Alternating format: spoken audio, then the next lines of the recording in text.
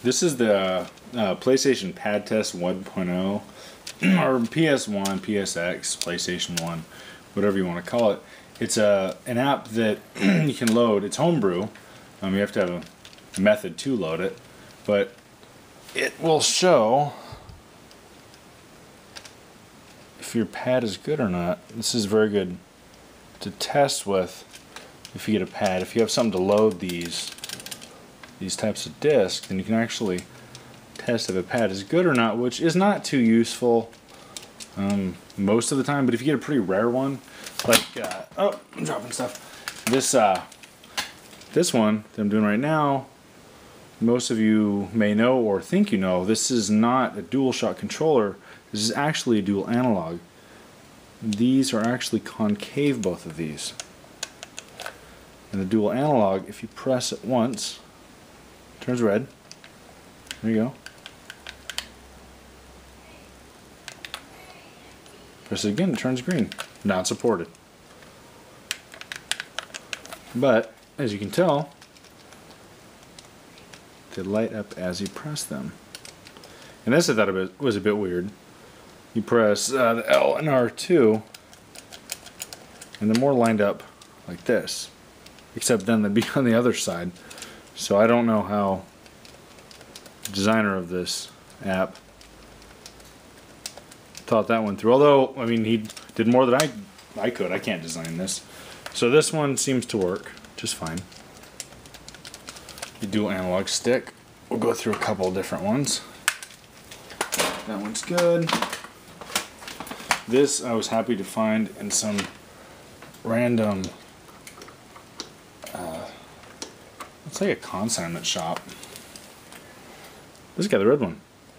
It's your basic PlayStation controller. Seems to work just fine. Although sometimes I'll have problems with the start. See, and that's why it's good for diagnosis. Press X. I don't know if you can tell too much right here, but it only lights up about half the time. If you really press it, uh, select. I need to find a way to get the lighting down in this room. It's either on or off in here. So that one works good except for start and select. Let's go with a dual analog controller. And I've got these all wrapped up like they shouldn't be. Never just wrap your wires around your controller. It is convenient, but honestly it'll wreck the damn things. Plug it in. So it just pops up automatically in the bottom.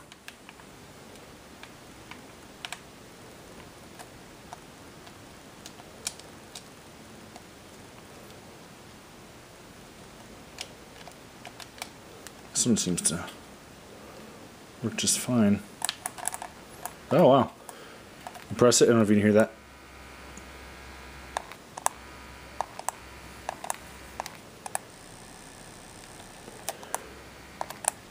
For those of you that don't know or have never fixed these guys, you hear the higher vibration on the right side, lower on the left. What they did was, it's pretty smart. They put these little poles about halfway down. We can actually see them in these and they, they spin right here. This one has a heavier weight. On the right side, it's got a lighter weight. And they they could do those to varying degrees with whatever game. It would be full force or partial. I can't really turn it any sort of degrees with this. It's just either on or off. but, excuse me, still getting over my cold. An interesting tidbit with these guys. I can get this out. Now this is a wonky controller. Nothing too bizarre. It's a game on controller. Got a black cord. If you see this right there, it's very, very corny. So what? It doesn't even have the label. If you don't know, most controllers don't have these anymore. They either have them built in, just some part of the controller or the system itself. They used to have the FCC regulations on them, which my camera is not focusing on. But it basically specifies that it will not provide any interference, but it has to accept any interference that it gets. Um, and then these are pretty much magnets. And so it kills any interference you get, and that's why they were so close to the system. It'll kill it from here to the system itself, but not from here to here. But an inch isn't going to make that much difference. So these guys, I've never taken one of these apart, but I can't imagine this tiny little thing that doesn't weigh much, this cheapy old plastic, is going to do anything at all, especially if it doesn't have the, the FCC warning on it. That's, I imagine it's just for looks. Let's plug this in. This is Game Game On. Game Mon. I can't really tell. Trademark, although I've never heard of it. It seemed to work, although it feels a bit cheap. The L2 works as, about as much as the R2, but it's sunken in. Just imagine the plastic broke. Let's see what these do. Start. Analog.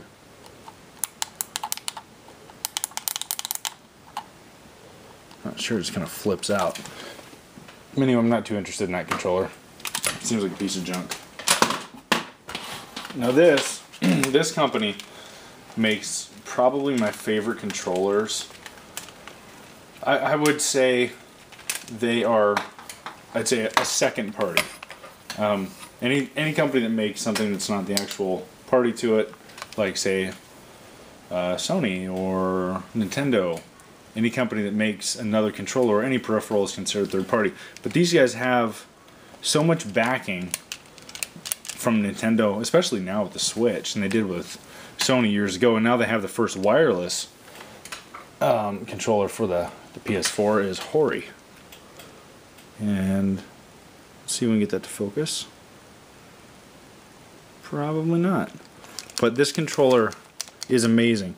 Although the D-pad is a little bit weird looking, it actually is very responsive and feels fantastic. And they always seem to have the support of the company behind them to get their logos on. It has the actual PlayStation logo. These are very, very responsive. They're very quick. And funny thing about this, what I just talked about with the FCC, is they didn't have the warning on them either, but they also didn't try to fake it by including anything on here that, like a, um, like the uh, I'm battery, the magnet to try to fake it. They just simply didn't didn't use it. But where the company always puts their name, they put Hori. So that's also interesting. I don't know what's up with these guys. That company is awesome in my opinion. Now I'm gonna actually try to do a DualShock 2 on here. Again, don't wrap your controllers like this. This will screw them up over time. I did this before I knew what I was doing with these and how to preserve them. And they sat forever. this is cool. Um, the FCC warning is actually stamped in the DualShock 2. That's crazy. So I'm going to pop that in. Oh wow, it's actually backwards compatible with the PlayStation.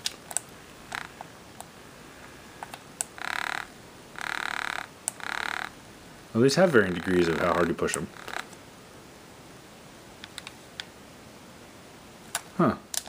This seems to work. This controller's a bit busted up from overuse, but yeah, this uh, the uh, pad test 1.0. I don't know if there's ever a second one or 1.1, but uh, I'll try to find where I got this from and post a link to it. It's really handy if you can get something to to load on the PlayStation. I use the Game Enhancer 2 um, to to brew home to brew um, to boot homebrew, um, and it seems to work pretty well as, as anything as I can throw at it seems to load unless I burn it wrong. Um, the only thing that seems more simple is the Dreamcast, and the GameCube is way harder to burn stuff for. So it's, it's kind of middle of the road. As long as you can get something to boot on here, um, homebrew isn't that difficult. Uh, as long as you can burn it to a disk in an ISO, uh, because or or which that'll work too. Now with the Dreamcast, you have the DreamShell and various other ways to load it. With the GameCube, you have Viper GC, you got Xeno GC, uh, there's Qoob if you can find it. There's various ones. With the PlayStation, I don't know of anything to load Homebrew except uh, booting from the disk. So if you have a way to do that, this is actually very helpful way to testing. I, I, I would say any sort of game store um, any retro game store that takes these kind of products in, this would be very helpful to, although it seems counterintuitive, to mod your system and then be able to test these things. So I don't know of any sort of thing, maybe from Sony, that would test these. I know Nintendo had Nintendo test pad stuff way back in the day. You could test RF switches and whatnot, but I've never seen anything quite like that except for the one unit from Nintendo. So this is this is pretty useful if you got a whole collection you just want to test your stuff, or if you like repairing things and you want to know why something isn't working. Because if you're playing a game and it works sporadically, you may not know why it's doing what it's doing. So this is this is very handy. Thanks.